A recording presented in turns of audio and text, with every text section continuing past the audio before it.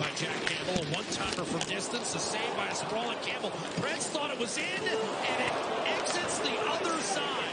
O'Reilly can't believe it. I thought he shoveled that in. O'Reilly again. Great shot, score.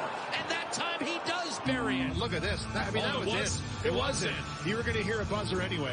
He puts it in the net twice. He's only going to get credit for one goal, but he's had a game. Hat trick and an assist. The original shot was actually completely across the goal line.